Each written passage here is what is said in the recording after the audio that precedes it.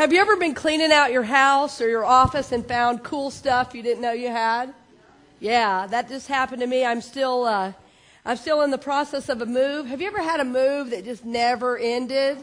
Yeah, that's what I'm in. I'm mostly having a good time, though. Uh, sure is great to be back. Uh, I hardly knew what to do with myself uh, last Sunday, not giving a me- message. I practically went up on the cruise ship and just started talking to people during breakfast. Could hardly help myself not talking on a Sunday morning. Anyway, it is great to be back. I'm happy to be still in the book, The Fifth Agreement. It was one of the books I took with me. Uh, this book that we've been studying is a book for living, right? It's not just a book that oh, well, maybe we read it for fun and put it down. Although I, I want you to know I have a summer goal. I'm almost there. My goal is to read 10 books this summer, and I'm on seven right now. And I'm so happy about that, and they've been fun books. You know how fun it is just to read a novel that has to do with nothing, you know? That, that's just, and then, and then I, I've been in this process of reading, and, you know, somebody gave me a book, and then I was interested in this other book, and I grabbed it. Two of my books intersected in an unbelievable way. I, it was, like some random bizarre story about the Cheyenne Indians in the late 1800s. And two different books I was reading talked about the same event. So I'm saying, okay, what am I supposed to understand and right get about this? Am I supposed to study more? Amazing how spirit works. Amen. How it's conspiring to bring us our good. Did you know that? Like the universe is literally conspiring to bring you your good. And I'm telling you, there are days it does not look like that. Amen. Ugh. It's like, what is this? You know? All right, so we're in, um, does anybody know what chapter we're on in the book? We're on chapter what? On chapter 10. We're on chapter 10, and it's, the subtitle of this chapter is The Warriors. We are all in this room spiritual warriors. Will you say with me, I am a spiritual warrior? Together? I am a spiritual warrior. Now, when we say that, we don't want to say it like, I am a spiritual warrior we want to be uh, we want to be full of uh, full of our masculinity at that point. You know what I'm saying? I mean, like, so let's try again. And when you say it, I want you to think about really being a spiritual warrior together. I am a spiritual warrior. You see how much stronger that felt? Do you see how much our words uh, create our reality and how much our attention creates our reality?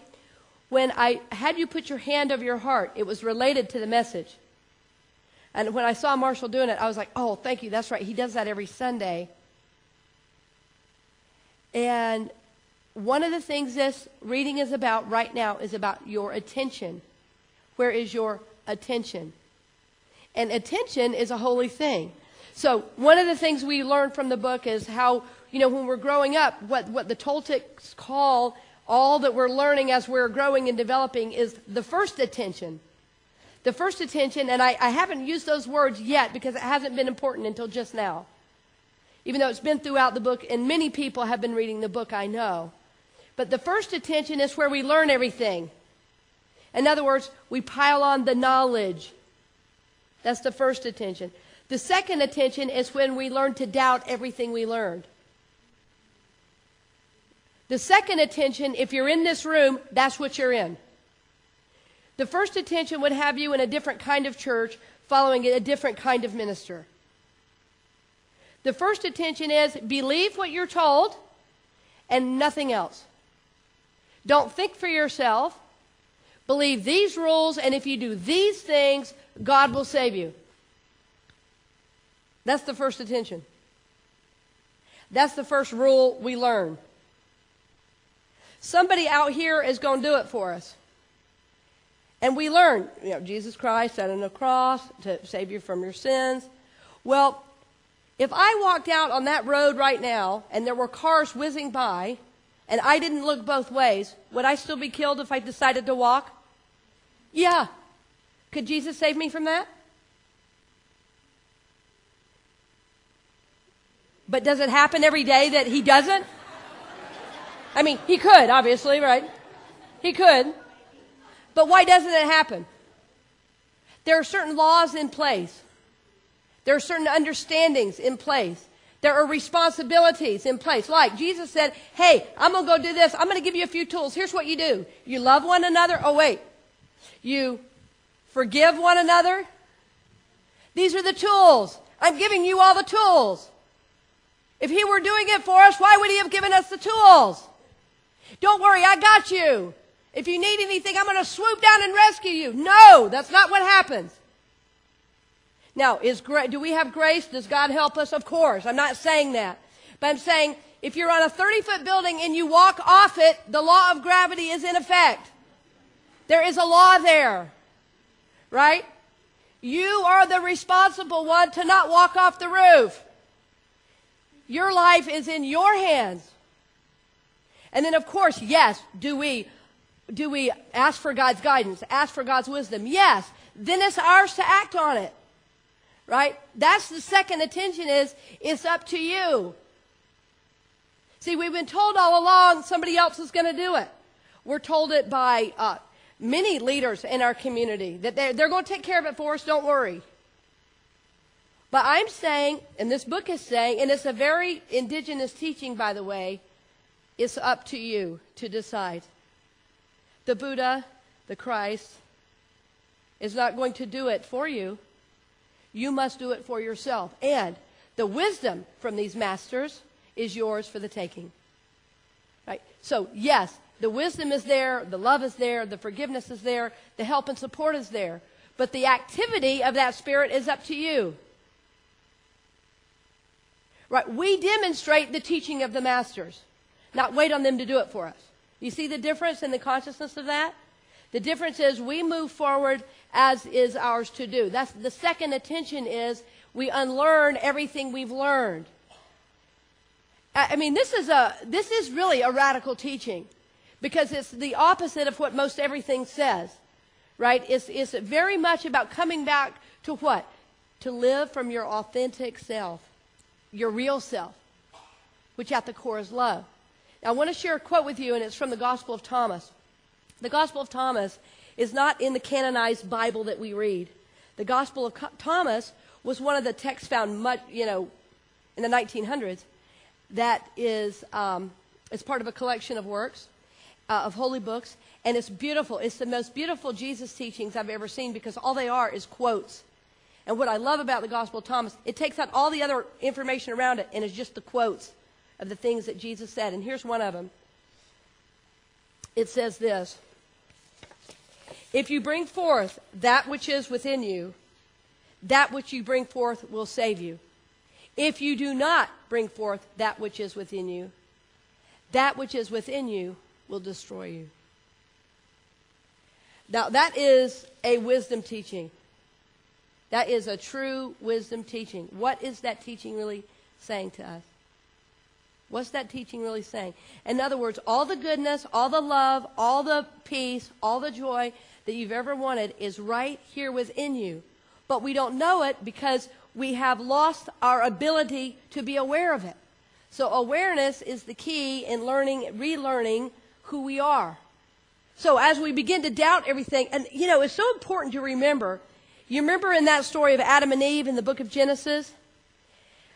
What brought them into what is known as the fall is doubting they were equal with God. And one doubt led to another, led to another, led to another, and pretty soon all we believe is the doubts and the lies about who we are. As a culture, that's still where we are, by and large.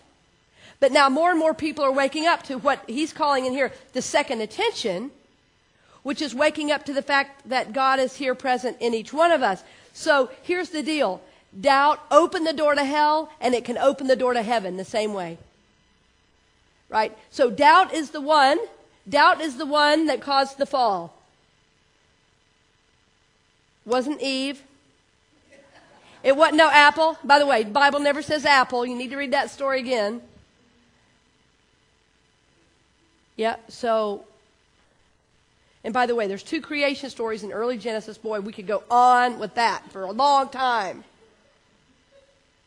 So it's doubt that kind of starts almost a possession, doubting our real selves. Doubt also unlocks the possession of your real self. It's amazing. Doubt is the key. Doubt is the key. Doubt is the key that unlocks the door to your soul. In other words, you're going to quit believing the lies that have been told about you, and start believing the truth about you. It's amazing to, to say to yourself, I'm going to quit believing my own story. And I'm telling you, I cannot tell you the number of times in the last couple months I have gotten to unlearn a story about myself and about somebody else. What a gift to me and to my soul. What a gift. And then I realize the only forgiveness I need to offer is of myself because any unforgiveness I hold of anybody else is a story I've made up. Now, here's what I mean. Here's what I mean. So we can say, all right, well, when I was five or when I was seven or when I was nine, this happened. I understand. Everybody in this room has a story, some of them horrific. I understand that. Having said that, that was then. And we care, most of us carry our history around like, like we never ever put it down. And it's like we're carrying a corpse around, and every time we get around people we love, we bring out this corpse, and it stinks. And it's hard to, it's heavy. And it's hard to move it aside when we're trying to uh, be in loving relationship with someone. And there's this stinking thing in the middle of the room. And we're wondering why the relationship isn't working. And it's because you have a stinking corpse in the middle of the, the room with you. Right? So the past doesn't have to dictate our now moment. The past is the past and was over in the past. You know, it's like I think about most of psychology is based on the healing of traumas that happened 30, 40, 50, 60 years ago. And why? Because we keep carrying them into the present moment as if they're still happening. And by the way, that's an important process to be in. That's an important process to be in of healing the past. But one of the ways we do it is to remind ourselves the past is not happening now. I'm in the present moment. What happened in the past is not happening now. Especially if our reaction to something is huge. Boy, that's a real good clue. It's archaic. That's the use, word I use. If I'm, you know, you've heard people say, oh, I got triggered. Well, then do something about that. Instead of walking around some big trigger. Everybody, you expect everybody to work around all your triggers? We don't know where they are and we're supposed to work around them? Oh, you push my button. Well, where is the button? My God, what's the button? Can you just remove the button? Right. I mean, like, what? Right. Don't we say that? I was triggered. So you were triggered, so you decided to take out everyone around you? Well, yeah.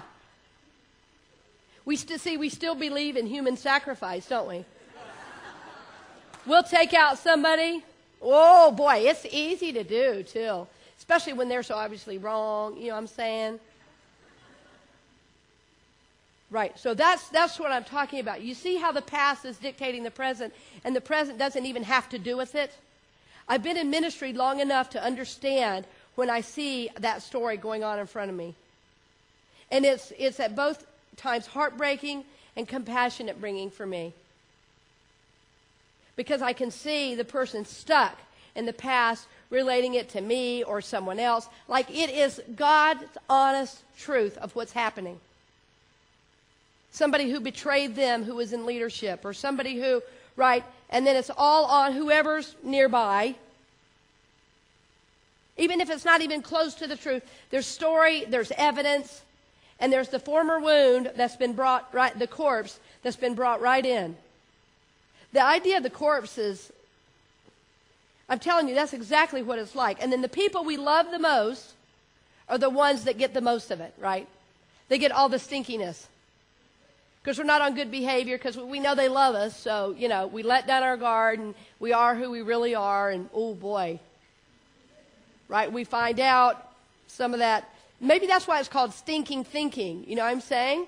Right? Because it's old thinking that's related to the past.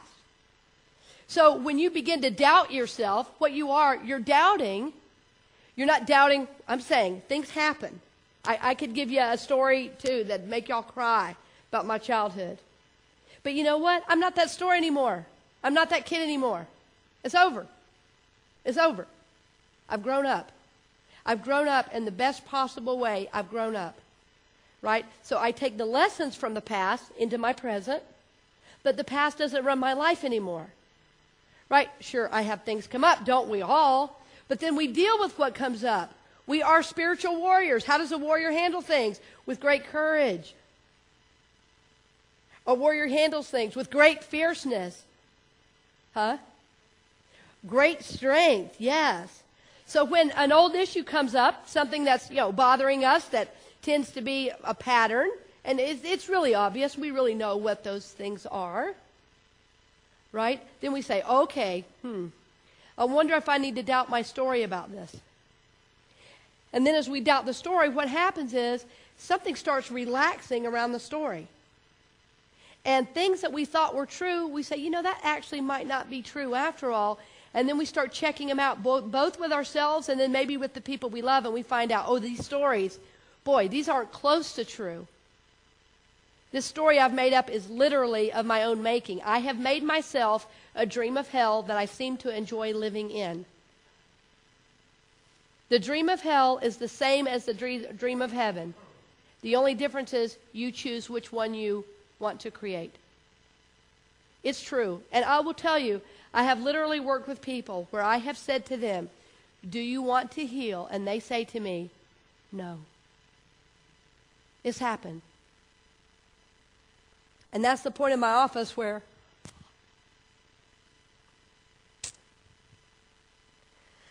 I say, Okay, when you're ready, let me know. Spirit has eternity. I've got as long as I've got. When you're ready, let's heal. When you're ready, I'll be here. So the dream of heaven or the dream of hell is up to you. As my friend from Cuba always says to me, it's up to you. He's so dear to me. That's what he says. Alice, it's up to you. He's taught me so much about the Bible. It's up to you. That's, the, that's one of the greatest spiritual teachings we have. It's up to you. Right? It's up to you. Great spiritual teaching. So, one of the ways we get free from the past forgiveness. What are we forgiving when we forgive? Forgiveness is a letting go of a toxic energy, it's not excusing bad behaviors. Forgiveness is something you do for yourself, even when it feels like you're doing it for the other person. You know what? Karma takes care of the other person. Don't worry. Don't worry. Scriptures say, Vengeance is mine, I will repay, saith the Lord. It is done unto you, right? For, and the scriptures say, Forgive, and you will be what? Mm-hmm. Yeah. Forgive, forgive, forgive for everything, everyone. Sometimes in my prayers, I say, I forgive every, everyone for everything, including myself. I have to say that because I always leave myself out of the equation. Do you guys do that? And really, any unforgiveness we have toward others is unforgiveness we have toward ourselves. And if you don't believe me, try it. Try it this will bring a new energy. This will bring a new peace. That's why we do it. You get to have this, but you got to forgive first. You don't get this by reading self help books, although self help books are wonderful. I got as much peace reading a novel as I did a self help book this, uh, this vacation. Dennis and I were talking about that earlier how, uh, how for years we just read self help, right? And then the first time we read a novel, it was like, oh, yeah, this, there's a lot of truth here too. Right? So this is what we want, right? Doesn't, and we say, why doesn't the world have peace? We don't have peace in our own minds. That's why. You know, and it's amazing what people think they're fighting for out there. And I tell you, I, I so um, honor our soldiers, as you all know. They don't even know what they're fighting for half the time. How about kids in our inner city gangs? What are they fighting for? Something they think they believe in? A story they've told about what belongs to them and not somebody else just because they've said? Does that sound like a war going on in the Middle East? Exactly. It's all the same it's all the same war. So when we become spiritual warriors, the war isn't out here, it's in the mind. But if it's not dealt with in the mind, it comes out here. All these shootings we see, The inside war has come out because it has not been dealt with. Just this week, I got a letter from my alma mater where I went to college. In uh, it was uh, Seattle Pacific, and so it was a small liberal arts college in Seattle. There was a shooting on the campus. I couldn't believe it for the safety I felt when I was there. I couldn't believe it. That was as close to me personally as one of those shootings had gotten, and I was imagining the campus and the professors and the students and what that must have been like. See, that's when the war inside the mind is not dealt with and it starts to get, and it's so projected out into the world. That's all this is seen as, is a war zone. Right? That's why the world is how it is, because nobody's operating from the authentic self. That's why I want, I'll tell you, I want our pews to be full every service, every Sunday. My goal is by Sunday, November 2nd, which is our 75th anniversary, to have 750 people here that day. And I'm going to have three services. I want you to hold that in consciousness with me. 750 for the 75th. Right? We can do that. If everybody invited one person, we'd do it. We'd more than do it. We'd, we'd have 800 or more if everybody just invited one person between now and then. I know it. Because this is the message people need to hear, and they know it from any religion, any denomination, to know that they are a soul and that there's an authentic self that they have not, don't even know is there, and it's waiting on them to notice it to make their life better, better, full of more joy, more love, more peace. Who wouldn't want that? I'm, you can keep attending Mass, you can keep going to your Buddhist meditation, but don't forget that you're a soul. Don't forget that you're a soul. Don't forget that there's an authentic self right there waiting for you to notice it. Give it your attention. So, as we become spiritual warriors, what we're saying is the war is within our own mind. In other words, within our own soul. It's not out here where we're making it.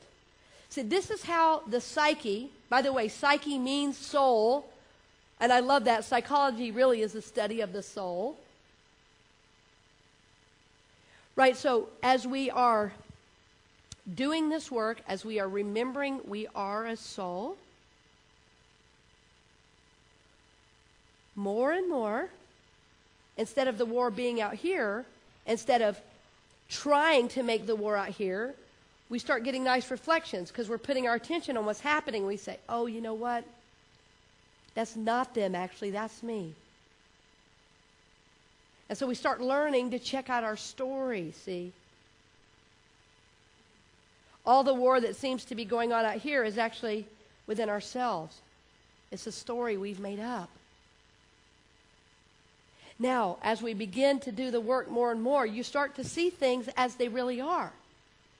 You start to see things as they're really happening. And what happens is, rather than have to doubt everything, you start to get to believe yourself again. But you're believing yourself from your authentic self.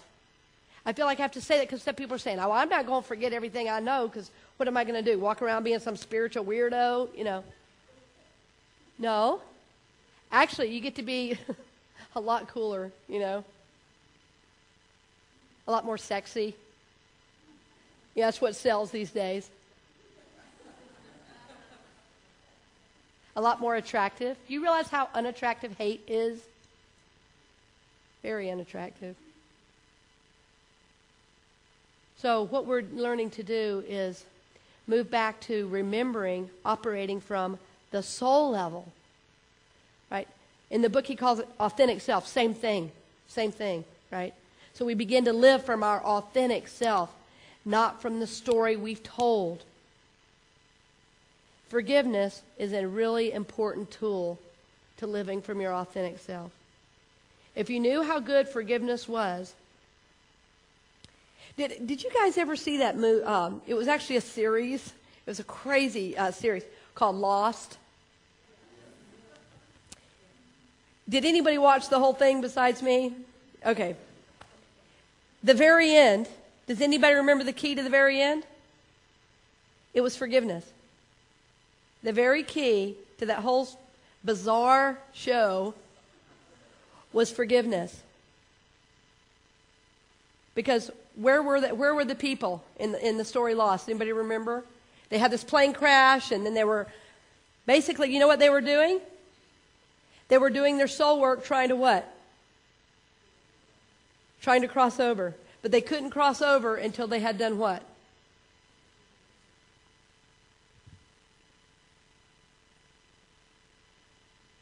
So they were getting soul opportunity after soul opportunity in this in between place to work out their karma. This was the key. This was the key to move their soul to its next incarnation.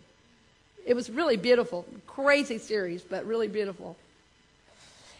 Many of you know that I was, um, yeah, I shared with you a while back about um, my reading that I do every day, and I was saying, I couldn't believe it again this morning. Remember two Sundays ago? The reading was exactly on the topic. It happened again. I said, I got to tell him. Sitting in my, and oh, and by the way, since I last told you, my meditation space is so great now. I think last time I told you I was meditating by piles of coat hangers and things like that. Well, this is was a pristine altar with one candle this morning with you you on my mind. So very early. Here's what it says. Everything needs attention. We need attention. We need a touch of the divine, a, reassur- a reassurance that we are children tenderly revered. Our needs are met, and our love and compassion are turned outward to care about things and people around us. Giving attention is a sacred promise, a word spoken to us, for us, and by us. The word creates and brings out the invisible everything that operates a world of activity. Nothing can stop it but our denial. This makes saying something very important, important that we speak right, not only to cause right conditions, but to remain children tenderly cherished. Words are life and death. Choose life. Beautiful, right? There's an old Cherokee teaching that says, and, and I'll tell you that the, the way I learned it was um, there was a grandma talking to her to her grandkids. And she was saying, Oh, you know, the kids were fighting. And uh, she says, Oh, you know, I need to tell you a story. And the kids go. Because when grandma told stories, kids knew to listen, right? She said, I don't know if you all heard the one about the, uh, the Indian that has this, uh, these two wolves living inside of him. The kid said, No. No. Well, what do you mean, two wolves living inside? Yeah, you see those wolves, they fight all the time, you see. And he said, Well, what, what, are, the, what are the wolves? Well, what do you mean? What are the wolves? How, why are they fighting? Ah, she says, Well, one's good and one's evil. And they said, Which one wins? Ah, that's easy. It's the one you feed.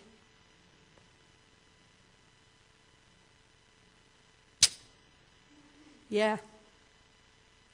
In cartoons, we see it as the angel and the devil, don't we? Yeah, so we want to move into operating from our soul. We want to move into a place of living from love. And I'm talking about real love. Not the love that tries to possess, not the love that tries to control, not the love that tries to hurt, to get its way. That's not love. We know that's not love. At our depth, we know that's not love. It's real love, the authentic love that we know we are made of.